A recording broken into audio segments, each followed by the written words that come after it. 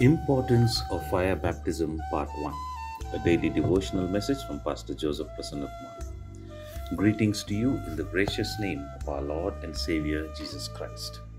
Today we will meditate on the topic of the Holy Spirit, and this time we will be specific and learn on the importance of fire baptism.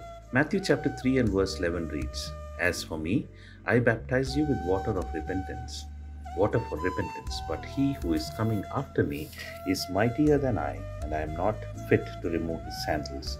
He will baptize you with the Holy Spirit and fire. These words are spoken by a very great person, acknowledged by Jesus as the greatest man born to a woman, and he is no none other than John the Baptist.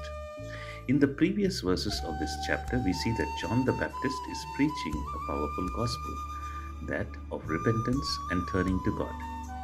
Let us pause here for a while and consider the baptism given by John.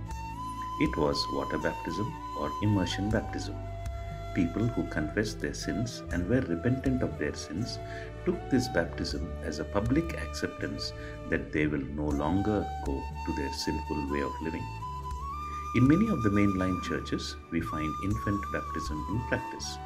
In my opinion, I am not for it as my belief that infants will not be able to confess their sins. However, we will not depend, debate on infant baptism today, and God willing, we will spend more time on this topic at a later stage.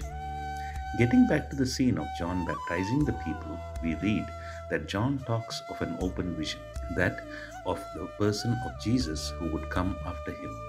Please read the words very carefully as he describes Jesus. He is not talking of greatness or fame, but John refers to Jesus as being mighty. Jesus himself described John as the greatest born to women, whereas John is describing Jesus as mightier than him. Why? To understand this question, we need to look at the baptism given by John and that given by Jesus. John baptized with water, Jesus baptizes with fire and the Holy Spirit. John's baptism can be compared to that given in our churches by the pastor or the leaders. Please don't get me wrong, I am not belittling that this baptism given in the churches, but that is just the beginning of the journey of repentance and faith. From then on comes the baptism of fire and the Holy Spirit, which God alone can give. To summarize, water baptism is immersion in water, fire baptism is immersion in the Holy Spirit. Let us turn to Genesis chapter 1 and verse 2.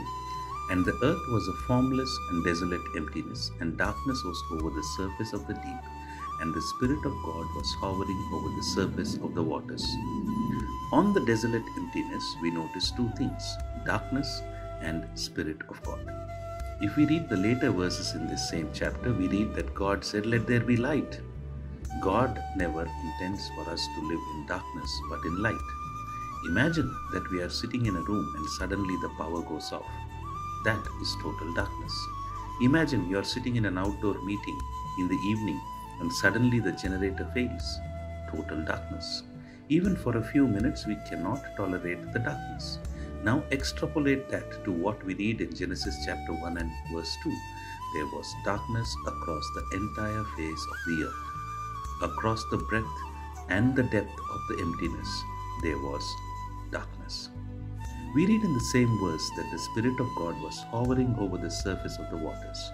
In some versions, we read that the Spirit of God was brooding over the surface of the waters. Our God never intends for us to live in darkness. Therefore, when God said, Let there be light, there was light. The Spirit of God caused the light to come in place of darkness.